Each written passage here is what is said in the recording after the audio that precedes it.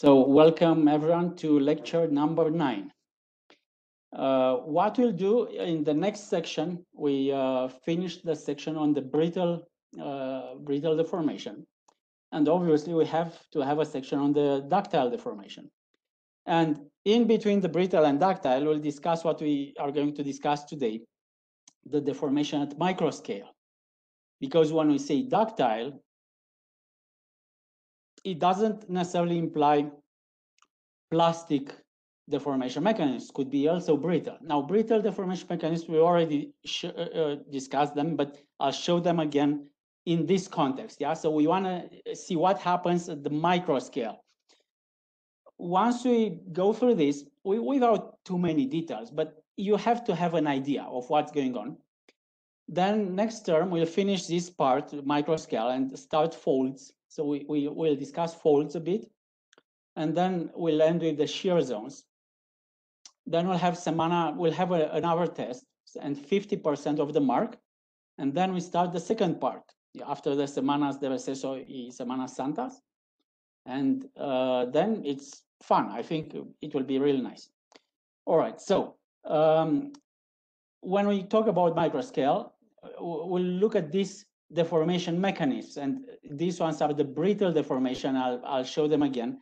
And what you see here basically are uh, what we would call um, in general like plastic deformation mechanisms. They are not brittle. Yeah. So I'll show you what uh, they are about. Just to remind you, you've seen this before. Yeah, you, you you've seen this before, but it's very very uh, instructional. Yeah, it's very pedagogical because when we talk about the structural style, just to remind you, if it's brittle and ductile, is how it appears to our eyes uh, in the out at the mesoscale. So if, if you see the joints or fractures or faults, then it's brittle, yeah? But if you see something like as if the rock flowed, then it's ductile. However, we don't know what the mechanisms are, are in terms of uh, the microscale, yeah? And if you are here, in the first situation, it's brittle structural style, it looks brittle, and the mechanism is brittle, obviously. But if you are here, it's ductile style, so it, it looks as if, you know, there, there is no loss of cohesion in the rock. But when you look in detail, the mechanisms are still brittle. However, the true uh, situation when you say, well, it's ductile, no loss of cohesion, and you look in detail, and then the mechanisms are here plastic, yeah? And this doesn't exist. It cannot be a brittle style with plastic mechanisms. But you can have a transition between this, between two and three, like both uh, brittle and dark and the plastic mechanisms coexisting, depending in a rock, yeah, in a rock, because the minerals responded the temperature, yeah, and uh, for uh, the various minerals, the moment when there is a transition from brittle to plastic, uh, depends on the temperature and the temperatures can be different for different minerals. Yeah, that's it. Yeah. All right. So um, here is something that says strain. So strain, yeah, the distortion, yeah, in the rock is accommodated through the activation of one or more deformation mechanisms at the micro scale. Yeah. So let's look at this. Uh, this is taken from the Fossen textbook. Yeah. So we talk about brittle and plastic deformation mechanisms. And brittle, you've seen what it means. He says, well, it is sudden and violent, yeah, because you break the atomic lattice, yeah, uh, you break them. Uh, whereas in the plastic, in the case of the plastic uh, mechanism, the change and the distortion is different. So there is no violence here, no breakage, yeah, that's the idea. And here is from a different text, from a different text, but for you to to read. So it says we can classify these deformation mechanisms, for instance, into five ca categories. One would be this, these brittle ones. Yeah, we talked about microfracturing, cataclasis, sliding, frictional sliding, and so on. Then you have something called mechanical twinning and kinking. So the uh, the crystals are bent, but they are not broken. Yeah, they bend, and Twinning, you've seen in the mineralogy class for sure. And then we have something called creep, creep. And there are different types of creep. Yeah, that means kind of movement without breaking, yeah? So it could, would be something that we call diffusion, something we call dissolution. So uh, fluid is involved, obviously, or something called dislocation.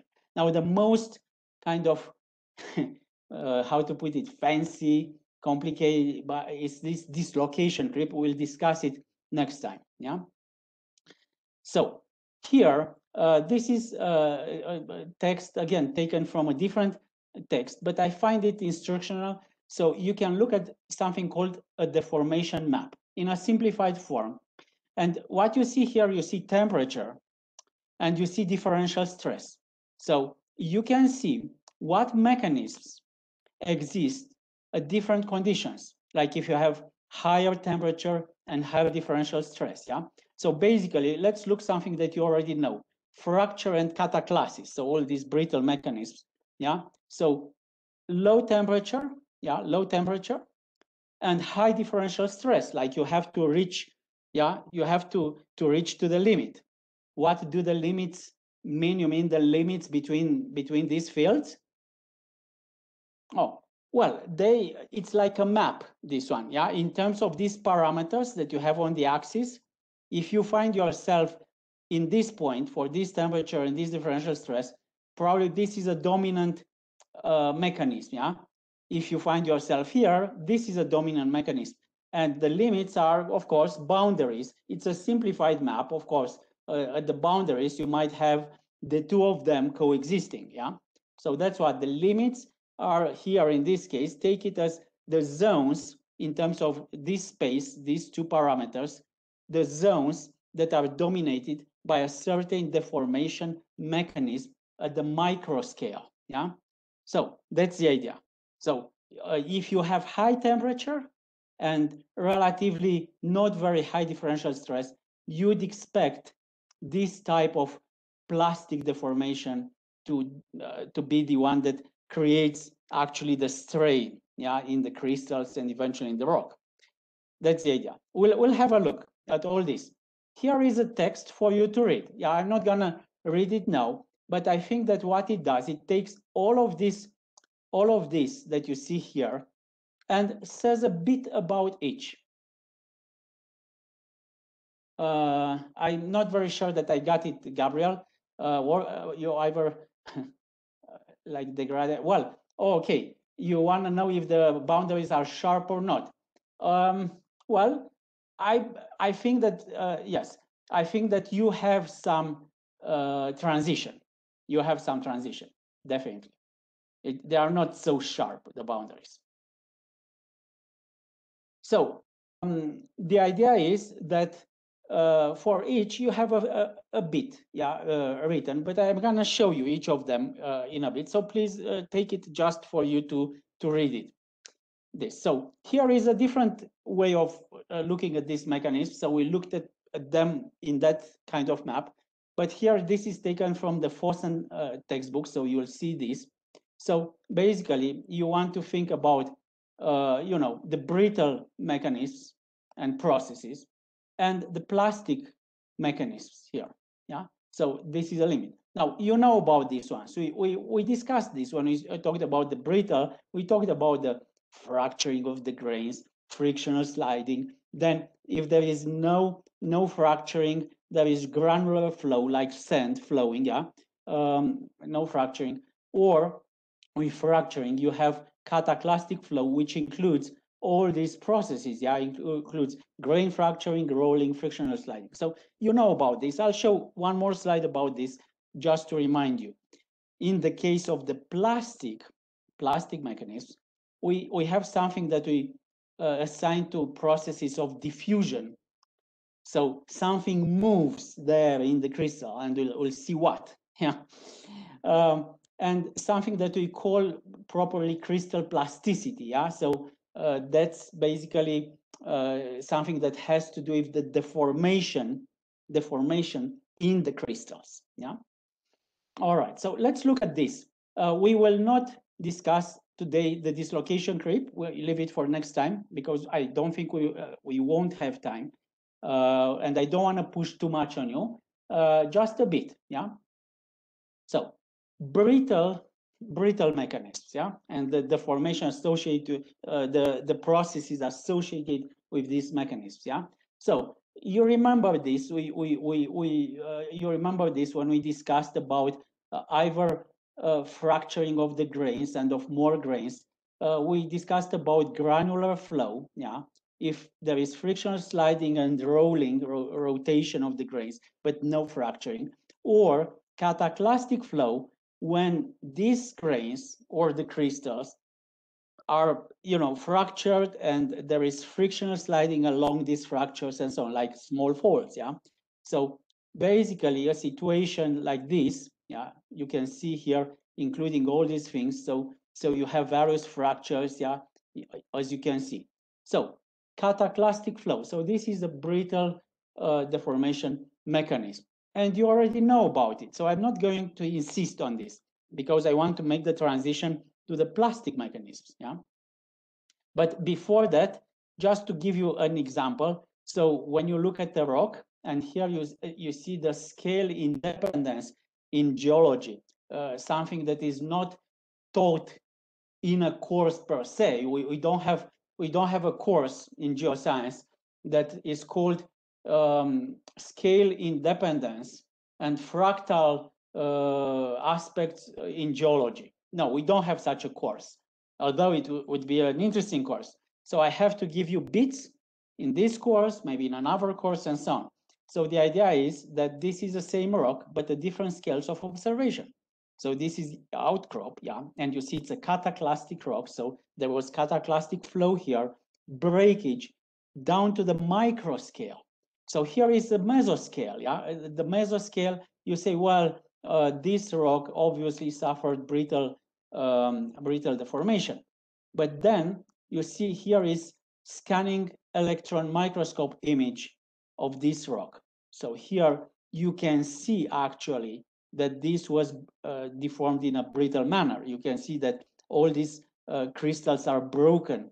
Yeah, and if you take even so if you look at this, the width of this is 4.3 millimeters.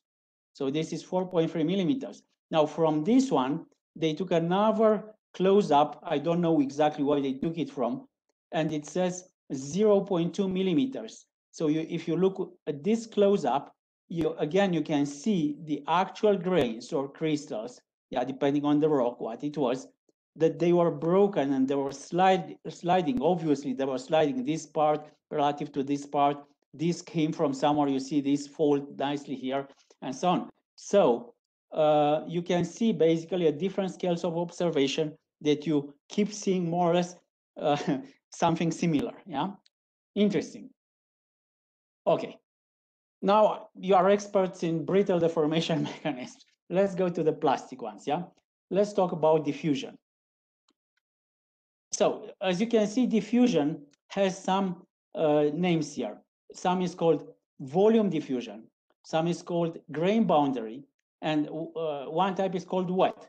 Now, first we'll talk about these ones too, volume and grain boundary. Yeah. Now this tells you already something in one, something happens in the volume, and in one, something happens at the boundary. Yeah. What happens? So you learned, I'm, I think, in the mineralogy class, you learned about the crystals. And as you know, they are not perfect. Yeah. In the same way we talk that the volume of uh, material of rock is not perfect. Yeah. It has micro cracks. Yeah. It has micro cracks. In the same way, when you look at this really micro and you look at the crystal structure, um, uh, what happens, the crystal structure theoretically, as we imagine it, is perfect, but it has defects. Yeah. What could be the defects? Could be that some atoms yeah, in the structures uh, are replaced by a different type of atoms, uh, by, by, by a different element, which fits in there. So not any element, but some are compatible, yeah, and they can fit. So you can have a substitution.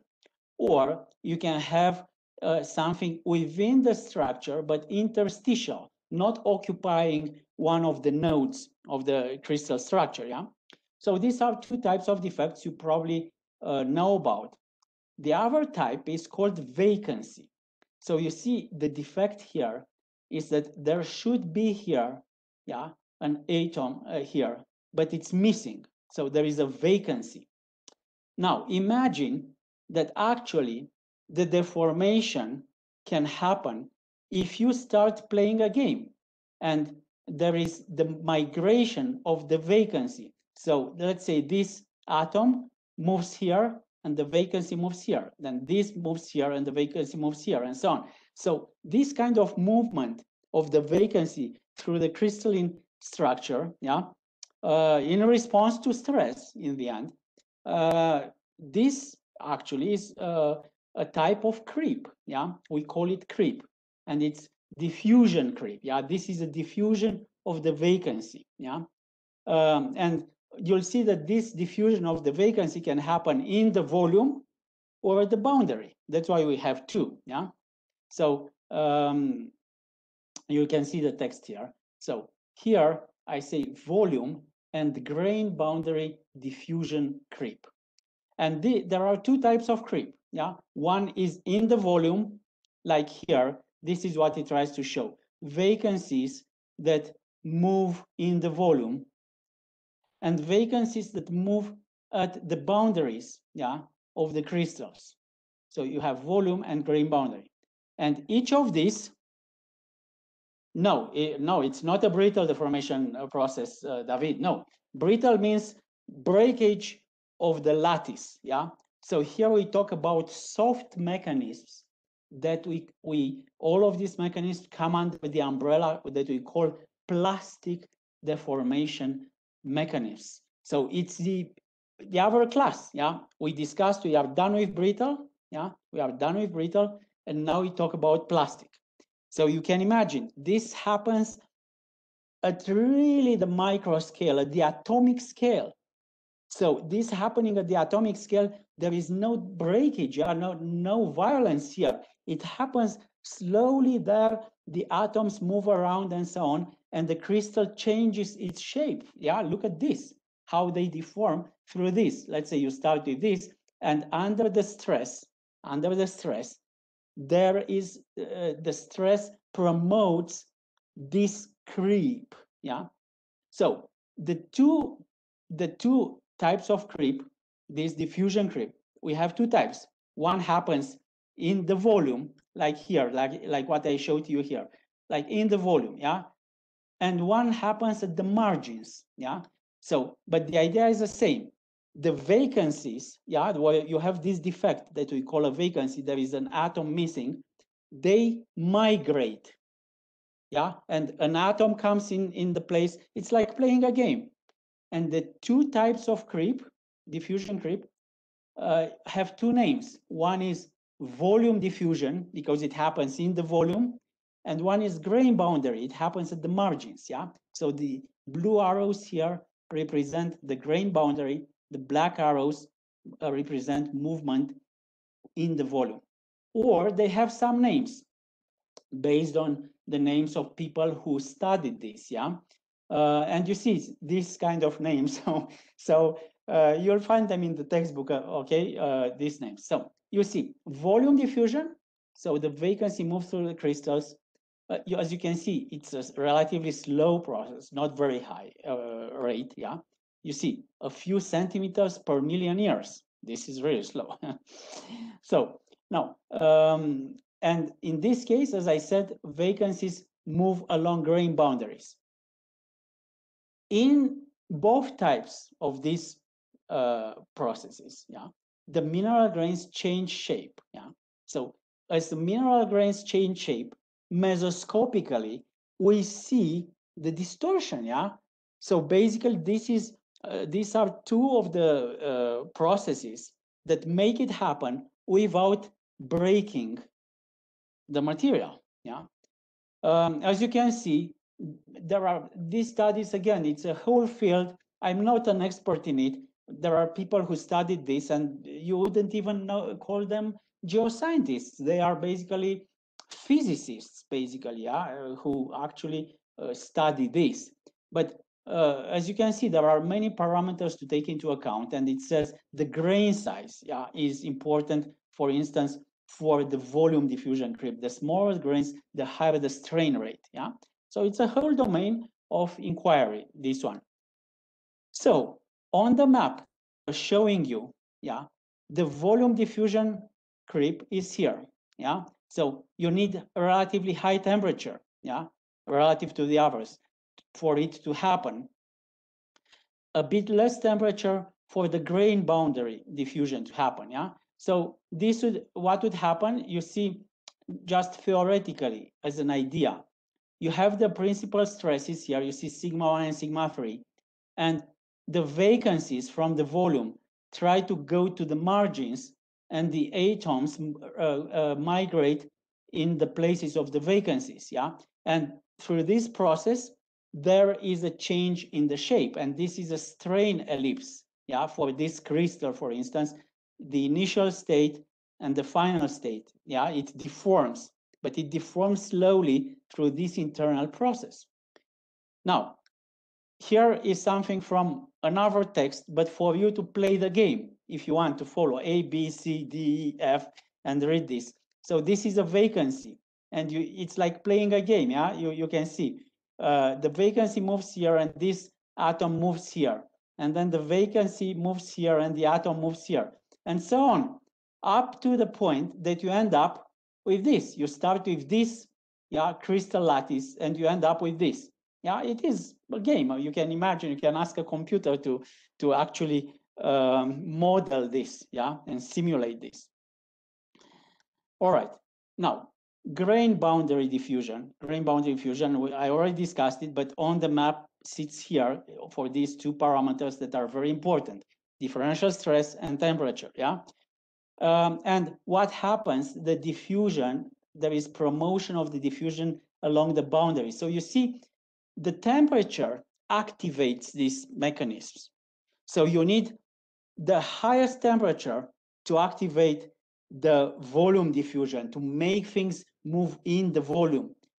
A bit less temperature, so uh, yeah, to make them happen at the boundaries. Yeah, so that tells you something. It tells you that there is more energy required to make it happen in the volume than to make it happen at the boundaries. Yeah, that's the idea in the end. And this just shows you what, what would happen, this diffusion of atoms on grain boundary and the change, the change uh, of shape, yeah, slowly, uh, of course, slowly, um, but the change of sh shape. So that's what the transformation from of the this circle into the strain ellipse. Yeah, that's the idea. Now, so we talked about this diffusion, volume, and grain boundary because of vacancies. Okay, there is a, another type of diffusion creep, which is called wet diffusion creep or dissolution creep or pressure solution. The one I like it most is called pressure solution and maybe dissolution creep to, uh, to make it clear that it's different from the others. But pressure solution, you'll, you'll encounter it a lot in the literature. So imagine that the changes, yeah, the, the movement happens also at the boundaries, yeah. So it's kind of similar to the Coble creep, yeah, to the grain boundary um, diffusion creep. So I, I say here that geometrically, so geometrically what happens with the change of shape and so on, and mathematically, it can be treated in the same way. Yeah. But what happens here, you can imagine that the diffusion, that means the movement of the atoms, is facilitated by a thin film of fluid. So we have fluid in the geological environment, yeah? We have fluid. And if there is a thin film, this facilitates this type of diffusion. Imagine that uh, you have the solution where you can dissolve, if you want, a bit of material. And then the dissolved material can go elsewhere. Yeah, that's the idea. That's why it's called pressure solution or dissolution. Dissolution means it's dissolved. Yeah, the dissolution creep. So the material, yeah, um, uh, basically is dissoluted, yeah, in this thin film of fluid. And you see what happens to the atoms that got into the fluid. They will precipitate. Now they can precipitate, they can move from here to here, yeah, on the sides.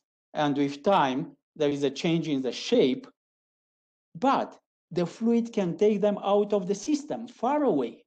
And this is a mechanism uh, that accounts for what we call chemical compaction. Yeah, so let's say you have a sedimentary basin and the sediment gets buried, yeah, the sand, and then it becomes sandstone. So some of the material will get dissolved and will become cement, yeah, will, will basically glue the grains. And some will go out of the system, yeah, out of the system, and the rock becomes more compact than the initial sediment. So this compaction, we call it chemical compaction. And this is a mechanism that explains it. Yeah. So that's why it's a very important mechanism in geology pressure solution. And here on the map, you see you don't have a high need to have a high temperature. It exists. All you need to have is uh, you have this stress at the interaction of grains. So it, it forces the material to dissolve a bit into that fluid. Yeah. And here is, for instance, dissolution showing you where it can happen. Yeah, dissolution, the uh, where the where the material gets dissolved, like at the interaction of grains, for instance. Yeah, or along fractures, whatever. Then you have fluid transport. The fluid transport can be out of the system, can be, not always, but it can be. Um, it, it happens along fractures, for instance. It happens through pore space, yeah? So this all can be combined, all this the deposition can, can be in the system, yeah, on the same mineral grain, but on the sides, on other mineral grains, in some fractures. So when we look at fractures, and we said that basically we have we have uh, minerals that fill the fracture, we call those fractures veins. Very important in mineral exploration, veins, quartz veins, calcite veins, yeah? Sometimes they have gold, yeah? But that material that was precipitated, where does it come from? So you can imagine in an, in rocks that suffer metamorphism, yeah, in, you have high pressure, high temperature, and so on. You can imagine this process basically dissolving part of the material, and uh, the fluids come on fractures. And at some point where the chemical conditions are favorable, they precipitate the material, for instance. Yeah. So also in the pore spaces. And uh, this material dissolved forms the cement, and that's the process of lithification of the sediments. So you see, we, we learned something very abstract, very boring, but at the same time, now we can have, we can understand some geologic processes that we can observe when we go and look at the rocks. All right, now, uh, here is just an example. Again, taken from another text because I think it's a good example uh, showing you, uh, for instance, you have you you see here the stresses, yeah, and you see the interaction of these grains, yeah, these mineral grains, and this is where you have high compressive stress, yeah, and it says here that grain D, grain D is a strong and insoluble grain, so this will not dissolve, but these ones they will, yeah, around here. So you see, pressure solution acts here. So the, the thin film of fluid uh, uh, starts getting atoms from these grains, yeah? So it uh, so basically and takes out uh, material. And then because the grains change shape, the grains change shape, you can see that basically the surface of interaction gets actually larger, yeah? Initially they have a little of interaction here, then more interaction, then even more interaction. And as they do this under this stress situation, yeah, you see the maximum stress here, the whole zone, the whole volume is compressed, yeah? So basically, what I want you to observe here, yeah, when you look at the strain ellipse, there is no lateral, eh, so the, you deform this, but it doesn't change shape so that it expands, yeah, laterally, because the material was taken out of the system in this case. So basically, it was shortened the volume, yeah, under the high sigma one, but the material that was dissolved was taken out of the system and precipitated everywhere elsewhere in a vein, for instance, uh, elsewhere. And here you see what the strain ellipse would look like. Yeah, so very interesting. Uh, that's why I included this. All right, so finally, I think I gave you a, a lot of information. I don't want to push too much, but finally, you'll find in the book something called superplastic creep.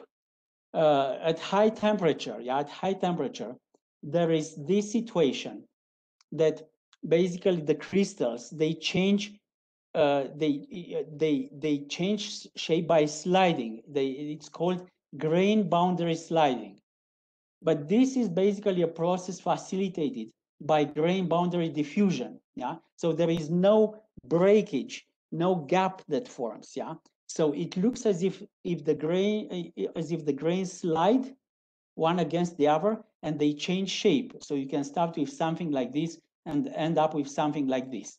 Um, so you have all these diffusion mechanisms at the boundaries, like dry, yeah, grain boundary dif diffusion, and the Coble creep, or the wet diffusion, the, the pressure solution acting, yeah, and combining to create this, and we call this superplastic creep. It is in the textbook, just to read it, um, but if you know the other mechanisms that we discussed, that's fine. So finally, and uh, we discussed about the diffusion, yeah, these diffusion processes. You now you, you can recognize them. Now, they come under the umbrella of plastic flow, but there is something called crystal plasticity, yeah, this deformation actually. So until now, the deformation happened because the atoms moved in this way, yeah, they were transported. Now we have some deformation. So let twinning, and next time we'll talk about the dislocation creep. Uh, the twinning, I think you studied it in mineralogy. I don't know exactly what Marcos does in mineralogy. And also there is the laboratory component in mineralogy. And if you had the chance to do mineralogy before the pan pandemic, yeah, pandemia, then you had a normal laboratory class and you must have looked at uh, uh, crystals of uh, calcite that have uh, that are twinned and they look like this, yeah, in the um, under the microscope, yeah, or plagioclase, first feldspar plagioclase, they have twins. So basically, uh, under stress, you see sigma one, and at 45 degrees, yeah, at 45 degrees relative to sigma one, uh, on those planes, we have the maximum shear. As we, we have seen the function, we know already this. So what happens? There is basically this bending, mechanical bending yeah, of the crystal lattice. So it doesn't break, it doesn't break. So it's not a brittle mechanism. It doesn't break, it just bends or kinks. And, you, and especially in the case of calcite and plagioclase feldspar you will see this uh, happening. And you see, crystallographically speaking, you have some very clear angles, like it happens at 45 degrees relative to sigma 1, and you have this bending, as you can see it, yeah, uh, at 38 degrees here. All right, so this is twinning, mechanical twinning. Uh, it happens even at low temperature, yeah, low temperature, uh, as a process, it's a plastic, a plastic mechanism, yeah, for instance. All right, so this is it for today. Uh, reading assignment, I give you these pages only from this textbook. If you want, optionally, if you want to look in the other textbook, um, how they do not break, it's like bending something. If you take a material and you you bend it, it's just that that you can imagine the lattice like this with the atoms, and they kind of move the angle relative to, to the others, but they don't break, they don't slide one against the other. Yeah, it's just that uh, imagine a rectangular rectangular lattice, and you take some that you know from a certain level they bend. So the atoms will be at a certain angle relative to the other atoms. Yeah, that's the idea. It, it's like having a straight line and you take and you take like this is my finger and you take you know uh, a segment of it and you rotate it. Yeah that's gabriel. So what i was saying is if you want to look in the other textbook uh, it is you know at a level that is all right exactly gabriel. At, at a level that is kind of more advanced yeah? So i didn't want to scare you in any way but if you want to understand the process as it is explained there, you are more than welcome to do it. But you don't have to do it. If you read from chapter 10 these pages, I am more than happy. Okay, so this is it for today. Um, I'm gonna stop this and I'm wishing all of you, uh, you know, uh, feliz tarde y nos vemos jueves. Y si ustedes quieren Eh, poner preguntas, todo, yo estoy aquí para ustedes. Ahora, gracias a todos.